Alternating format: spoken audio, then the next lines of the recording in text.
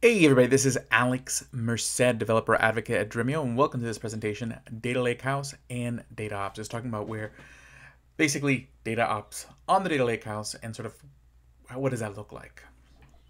So before we get into um, this presentation, let's just introduce who I am. Again, I'm a developer advocate here at Dremio. I've worked in the web and data spaces for the last several years, spoken at many events like Data Day Texas, OSACon, P99Conf, Data Council, have delivered keynote addresses at events like Data Ops Day, um, and so forth. Okay, I also host podcasts, which we'll talk about in a moment.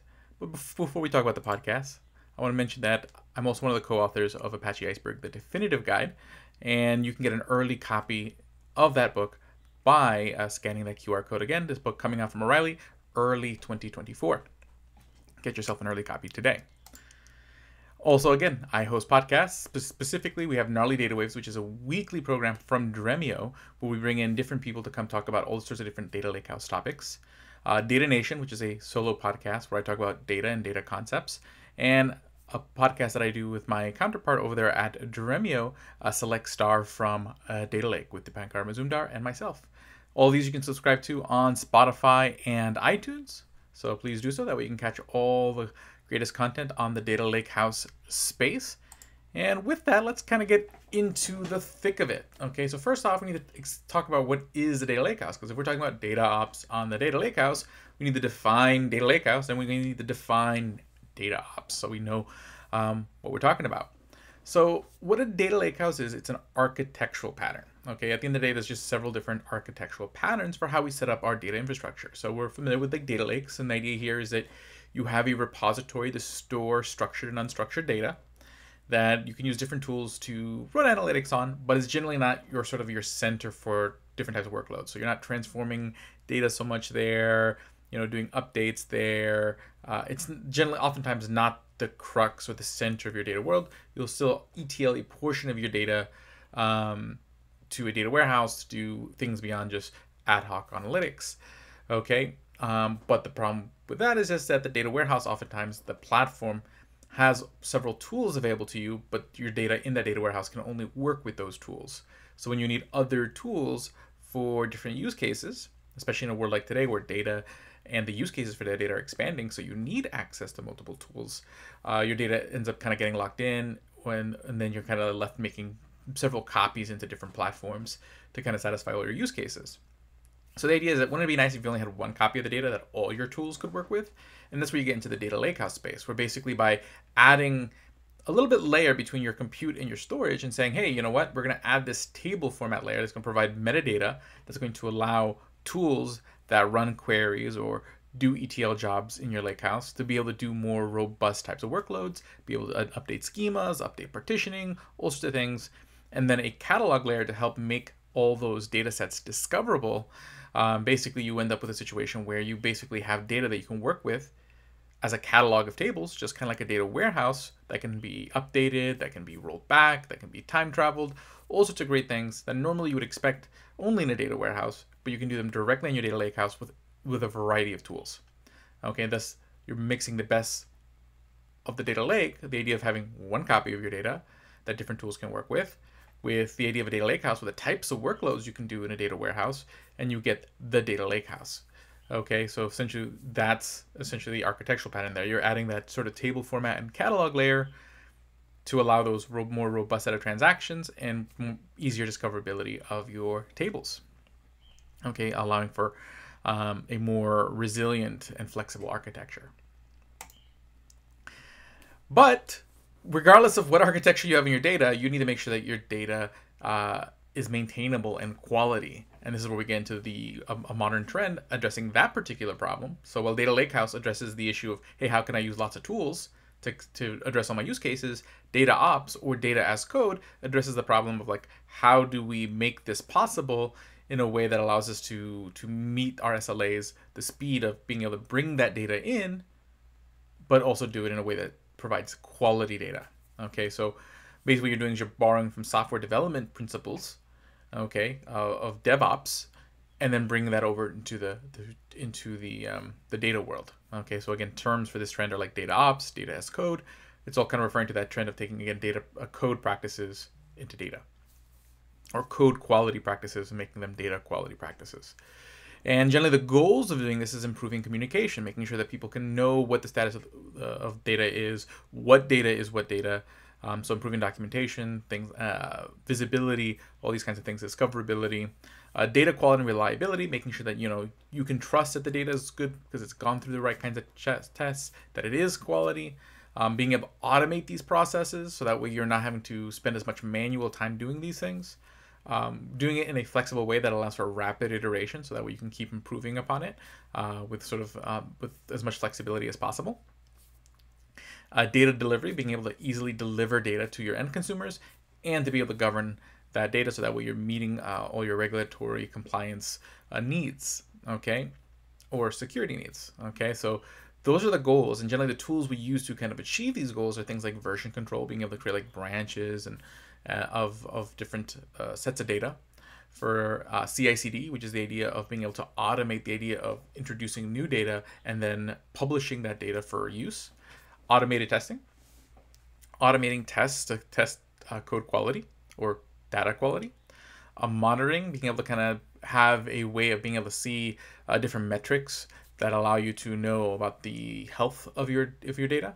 containerization, being able to sort of uh, encapsulate different pieces of your pipeline uh, so that way they have less exposure to each other. Um, you know so basically if you have so basically using something like uh, kubernetes to kind of manage several different docker containers um, that are running your different types of data software you can help isolate them so that way issues that might be going on in one software doesn't interrupt the processes of an- another part of your pipeline.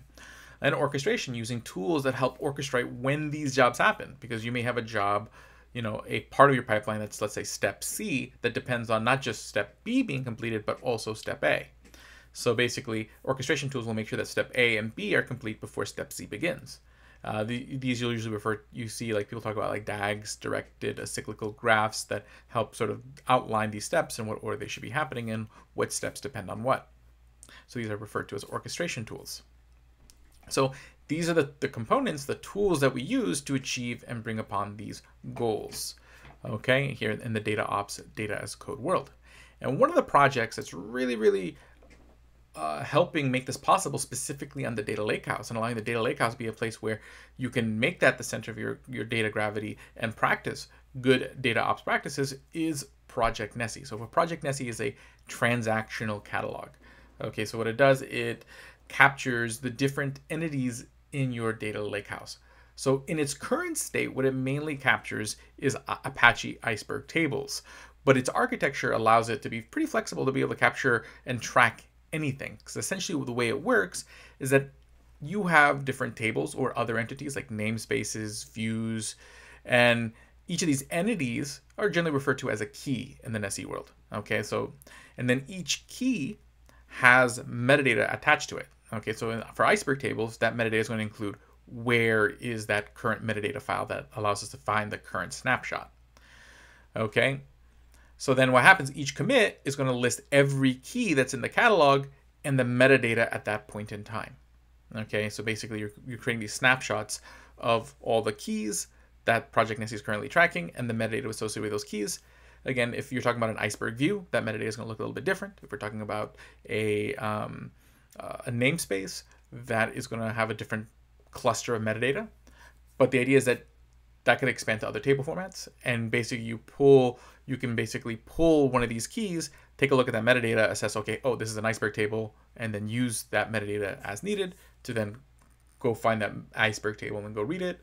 Could be there's actually a schema for Delta Lake table commits um, that's still not necessarily fully there yet. There's basically a pull request on the Delta Lake side that's still waiting to be merged before that functionality can exist. But theoretically, the, the possibility is there. Okay, so that's essentially how it works. But because of that, it works in that commit structure, you can create branches. Okay, so in this sort of illustration here, we see that we have a commit where we have two tables in our catalog, or two keys, both pointing to snapshot one for that particular table a change occur? Well, basically, first we want to ingest some data. So first we create a commit, uh, a branch, and that branch basically starts with that commit. But this branch is essentially can also be treated thought of as like a zero copy clone. And essentially, I can do operations on this branch, and it doesn't affect what people would get when they query the main branch because the, the tip of the main branch is still this first commit. And then, so basically when we do the go the commit number two here on the ETL branch, because again, it's called ETL, um, basically those querying the main branch are still querying the state at commit one because that new commit hasn't been integrated into main yet. Okay, so now you see that table B has been now upgraded to snapshot 2, but it's only visible on that ETL branch, which again, right now we're using it for ETL purposes to integrate new data, but that could be used for experimentation to create zero copy clones to allow people to experiment with data um, without having to duplicate that data.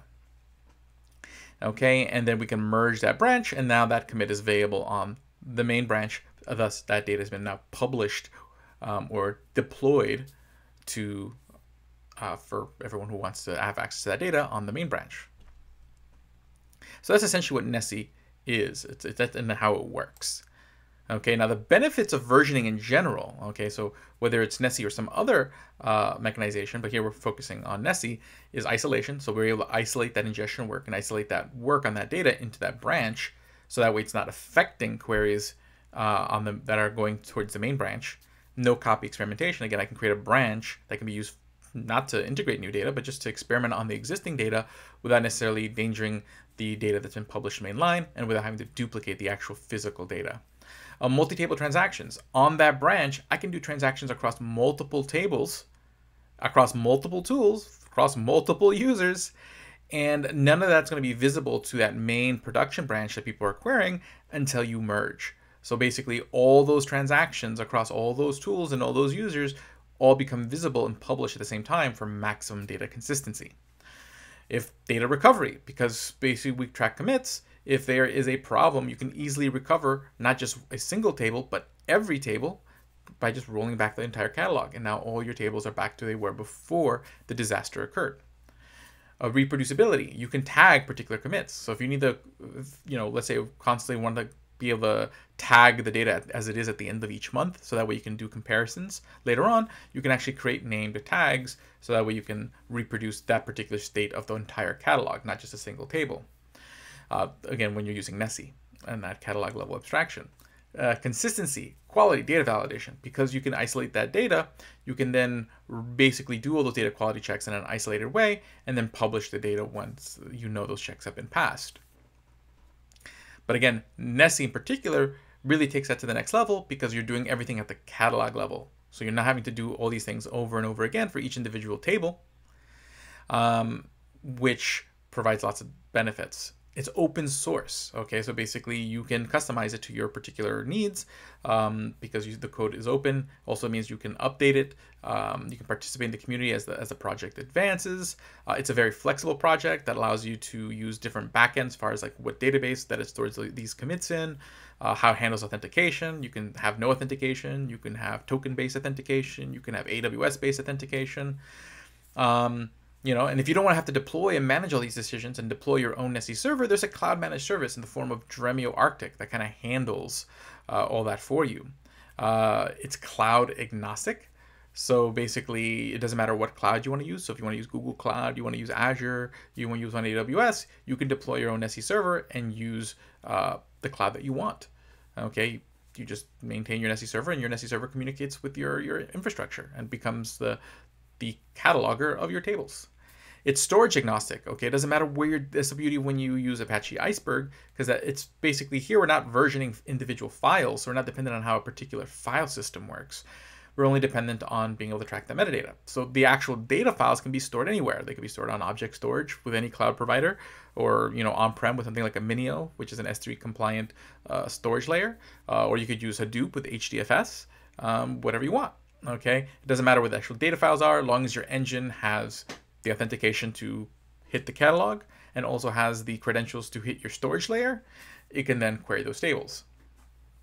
Okay, because again, the process would be it would first hit the catalog, get the reference to your data, and then go to wherever that data is stored. So would need both sets of credentials, but that would be at the tool level. Um, and then Nessie brings special access control and cleanup features to help you be able to clean up data across branches and whatnot through with the GC cleaner. But again, as I mentioned, there's you don't have to deploy your own Nessie server. Okay, so if you want to get started in trying out this whole sort of paradigm of being able to uh, manage your data as code, you can do so pretty easily by just going to Dremio, opening up a free Dremio account and creating a Dremio Arctic catalog in a few clicks in a few minutes. Okay, and at no cost, you'll have a catalog that can do a lot of these things. Okay, and this Dremio Arctic catalog essentially brings you all those benefits of catalog versioning, with particularly with Apache Iceberg tables. So it's very built particularly for Apache Iceberg tables. Um, and the cool thing is you can actually spin up multiple catalogs. So you don't have to go spin up like multiple instances of Nessie to have multiple catalogs. You can just click, create a new catalog, and you have multiple Nessie catalogs that you can use to organize um, your data into multiple domains. So if you're trying to create a data mesh-like structure, um, you know, you just create another catalog, which is basically like creating another place where you can store different tables and govern those tables uh, and manage those tables uh, for different domains to create different data products. Okay, um, you have the ability to control access to these tables. Okay, so whether that is, um, you know, basically uh, in the Dremio layer that it, it, Dremio Arctic uh, gives you sort of really even extra robust controls so that way you can do things like role-based access and whatnot. And then to come are there going to be things like column and row-based access specifically? The difference is like dremio already has like row and column based access built into the dremio platform but once it's built into the arctic catalog those rules become portable. So any tool accessing your catalog will then be able to honor those rules. Okay so these are cool things that happen with the catalog. It doesn't only make your data um, your data discoverable but it's also going to make your governance portable. Okay, um, so that's pretty exciting. Okay, really make sure that again you keep things consistent when you're trying to govern your data. Again, manage data quality with, with that versioning, and then also being able to keep things nice and crisp and automate things. Okay, and this here you can automate table optimization. So things like compaction uh, for your iceberg tables to make sure that your data files are optimal size that can be automated Okay, table cleanup, making sure that you're always expiring snapshots that you don't need, so you can delete data files you don't need. That can be automated, all using the Dremio Arctic platform. So we're hitting up a lot of those data ops goals of being able to automate, maintain quality, um, and so forth. Okay, and keep things consistent. And then you again you can isolate stuff using the branching. You can uh, roll back your data pretty easy because Dremio Arctic also provides you this really intuitive UI when you're working with your your Nessie-based Arctic catalog. So not only do you have the catalog that's portable among several tools, but you're gonna get this nice, easy, intuitive UI. Um, so that way you can actually just visually work with creating branches, merging branches, auditing uh, all your commits and seeing where they're coming from and what they did and all these kinds of things. Now, if you want to see this in action, okay, I have a video where I actually demonstrate this right here at this QR code right here. So just scan this QR code and you can go to that video. Um, the next few slides, I'm going to be going over the specific code that I do in that video. So you can actually see it in action by just going to that video in particular. Um, but essentially, what I do in that video is we go over this example where we're going to integrate some new data for a virtual assistant company. So the idea is we have virtual assistants who do assistance for different customers, and we're going to be adding some new assistants to our data and some new jobs that were done to our data. So we're going to create a branch to uh, do that. Okay, we're going to create that branch. In this case, we're just setting up the staging data, but now we have a staging table with our data that's going to be coming in. And then we have our sales table with all the existing data, and we're going to run a merge to merge that data set, but that's all occurring on the branch since we switched to the branch up here. Now, once that data is on the branch, I'm going to begin auditing the data and running data quality checks like referential integrity. So here I'm doing a referential integrity check to make sure that every assistant a sale refers to has an assistant in the assistant table, and every customer the sales table refers to has a customer in the customers table. Okay, and so then we run our audit, and if we notice that there was a mistake, I can then roll back and say, basically assign that particular branch to a different commit and say, okay, hey, let's roll back to this particular commit over here, um, back before any mistakes might have occurred. I'm able to do transactions while I'm on the branch. I can do transactions to multiple tables. So here I in, I inject into the assistance table. I inject into the sales table, uh, or insert, probably the better word. Um, and I do both of those transactions, which are not going to affect anybody who's currently querying the main branch. Okay, so then what I can do is that once I'm done with all the transactions, I can merge all those transactions, publish them all simultaneously in one big atomic transaction to that main production branch.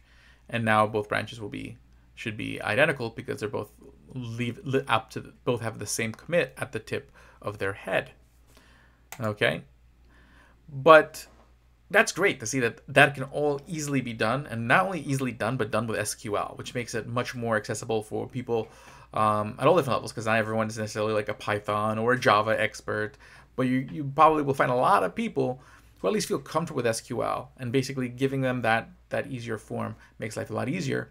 Also makes it pretty easy to automate. Okay, so there's different ways you can automate this. You basically any tool that can talk to the Nessie catalog could be a vector for um, automation. So that could be Dremio, that could be a Spark, that could be Flink. But essentially, what you would do um, in this example here, what we do is we have we're ingesting the data via Spark or Flink, and that's going to let's say ingest into like S, Amazon S3.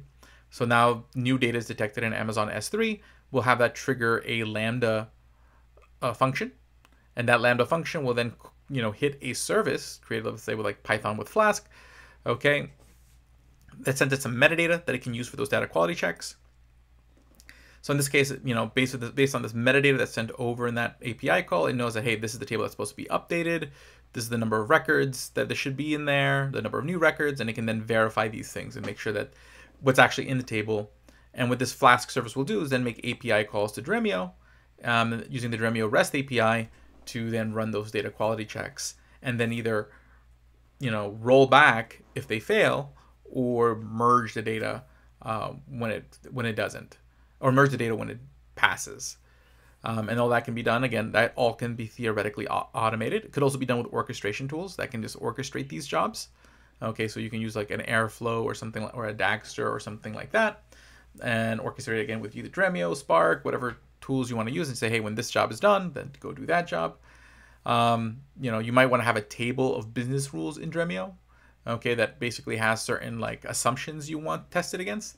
And then again, you know, that service or the orchestration tool can then pull from those business rules and run queries to make sure that certain assumptions uh, are tested. You're testing your data against, you know, like uh, let's say like, hey, you know, no no sale should be above a certain amount or something like that and it can then just test to see if all those assumptions are true. But all this again can be automated because Dremio has a REST API, and you can write scripts that run, and then those jobs can be scheduled either as like lambdas that trigger after certain events, or through cron jobs that run on a certain frequency, and uh, you know it just becomes set it and forget it once you get it all nice and tested.